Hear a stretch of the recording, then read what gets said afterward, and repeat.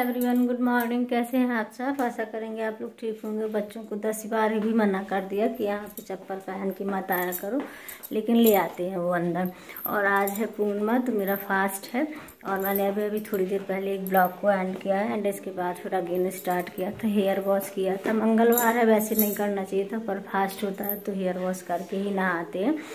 तो शाम में पूजा वगैरह करनी होती है इस वजह से। सुबह में इतना भयंकर वाला कह रहा था कि वहाँ सामने की डीपी और सामने वाले घर भी नहीं दिखाई दे रहे थे। अभी आप देखो कितनी बढ़िया सी धूप खिली हुई है और ठंडी बहुत ज़्यादा तेज़ हो रही है। और जो है खैर आज यहाँ पे थी तो मैं सात, सवा सात के आसपास उठी थी। और अगर ससुराल में होती तो जल्दी उठना पड़ता थोड़ा सा क्योंकि ससुराल की बात ही अलग होती। है भैया ने गिलास बाहर रख दिया था तो वो उठा के ले आई हूँ।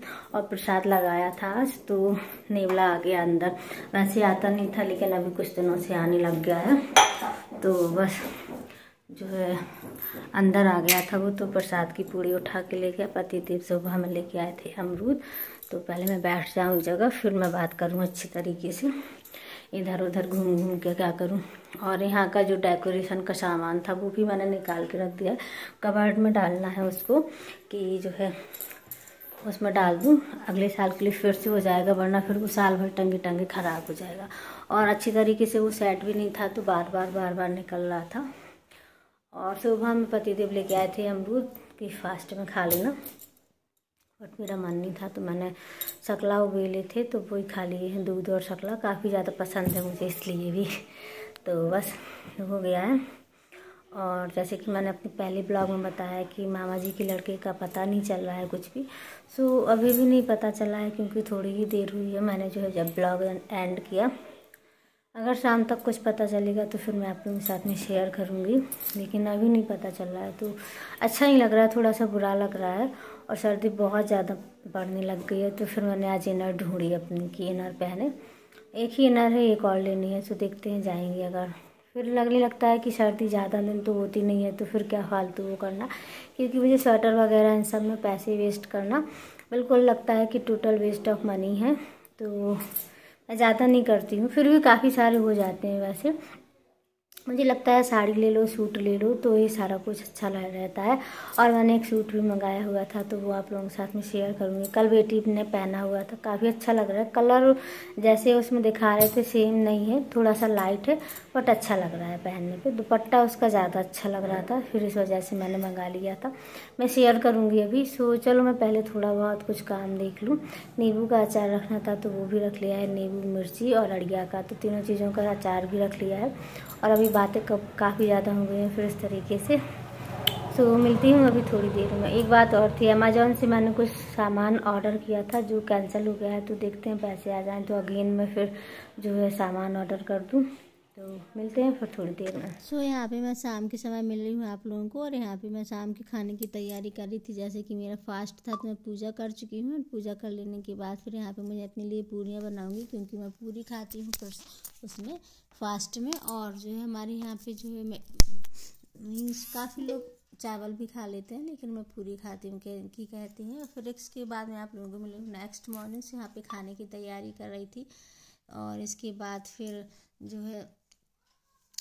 बना रही हूँ मैं पत्ता गोभी की सब्ज़ी। एक साइड में दाल लग दी है एंड इसके बाद फिर जो है काफ़ी लोगों ने मुझे पिछले ब्लॉग में कमेंट किया था कि आप दीदी जो है पहले दवाई करवा लो रेस्ट कर लो, इसके बाद आप जो है ब्लॉग बनाना। तो फिर जो है फाइनली मैं जाके मेडिसिन ले आई थी। एक तो टाइम नहीं मिल रहा था मुझे।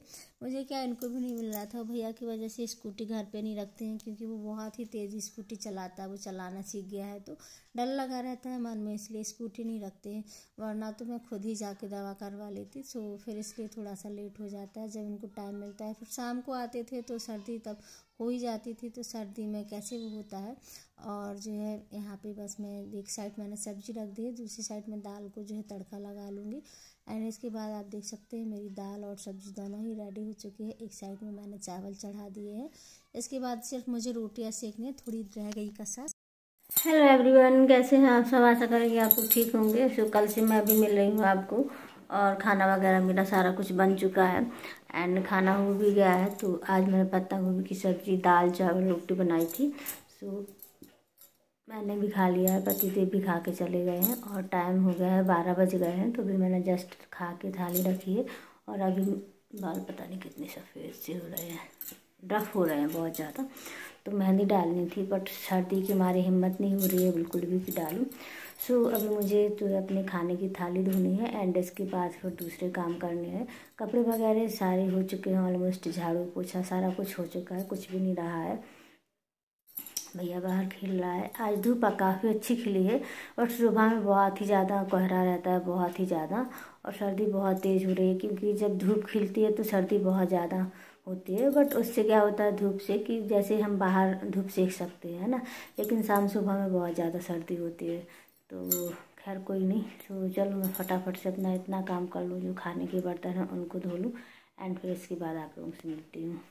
और यहाँ पे बस मैं आ गई थी तो अपने बर्तन वगैरह कर लूँ। किचन में पहले ही क्लीन करके गई थी, फिर मैंने कहा चलो खाना खा लेते हैं एंड इसके बाद फिर बर्तन कर लेते हैं। वीडियो को थोड़ा सा फास्ट कर दिया है, क्योंकि बहुत ही ज़्यादा लंबा हो जाता है। और मैं बहुत ही मीन्स आठ मिनट से ज़्यादा का वीडियो मैं नहीं अपलोड करती हूँ। इनफैक्ट मैं कभी कभी तो उससे भी छोटे करती हूँ वीडियो अपलोड क्योंकि कई बार व्यूज़ का चक्कर रहता है व्यूज़ अच्छे नहीं आते हैं, फिर इतनी मेहनत करने पे बहुत ही ज़्यादा दुख होता है, इसलिए थोड़ा सा ही वो कर लिया। खैर व्यूज़ से कुछ नहीं है, मुझे अच्छा लगता है वीडियो बनाना, इसलिए मैं वीडियो बनाती हूँ। ऐसा नहीं कि व्यूज़ के लिए रोती रहती हूँ, बस वो आप लोगों के साथ में मैंने शेयर कर दिया। यहाँ पर सारा कुछ हो गया तो इसको सिंक को भी अच्छी तरीके से साफ़ कर लेंगे, क्योंकि घर हमारा है तो साफ़ सफ़ाई भी हमें ही करनी होगी। मीन्स अच्छे से किचन साफ़ रहता है तो सारा कुछ बहुत अच्छा रहता है। मैं एक दिन, दो दिन में यहाँ पे बहुत अच्छे से साफ़ कर लेती हूँ। रैक बहुत ही अच्छा है, बहुत ही काम का है।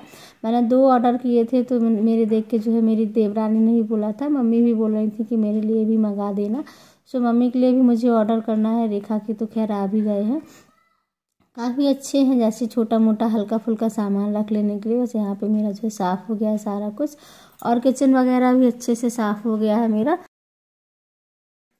तो जो मेरा काम रह गया था, वो सारा कुछ हो गया है। मेरी किचन भी क्लीन हो गई है, बर्तन भी हो गए हैं। देखो गर्म कर लिया है।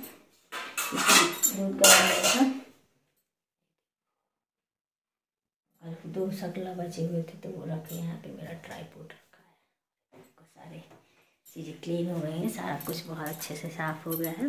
और यहाँ की लाइट बंद कर देते हैं। इस वाली गेट को बंद कर देते हैं। इससे जो है, इनकी जो है, हो जाएगा। ये थोड़ी, एक तो कपड़े रह गए तो इनको छत में ले जाएँगे। सूखने डाल देंगे। हवा नहीं आएगी वहाँ से, वरना हवा आ जाती है। और यहाँ की भी लाइट बंद करके और यहाँ के भी कर देते हैं, क्योंकि अभी यहाँ कोई है नहीं, छत पे जाने वाली हैं। तो वहीं पे बैठेंगे। सो देखो, कितना भी कर लो, फिर भी थोड़ा बहुत कुछ रह जाता है। गिलास अभी फिर भी रह गया तो फिर इसको रख देते हैं, बाद में देखेंगे। और घर में है, कुछ भी कर लो, जितना भी काम करो, होता ही नहीं है, ख़त्म ही नहीं होता है। सो so, चलो इस वीडियो को करते हैं यहीं पे एंड मिलते हैं नेक्स्ट वीडियो में. तब तक के लिए बाय बाय वीडियो अच्छी लगी हो तो लाइक शेयर सब्सक्राइब ज़रूर कर लीजिएगा. मिलते हैं फिर. तब तक के लिए बाय बाय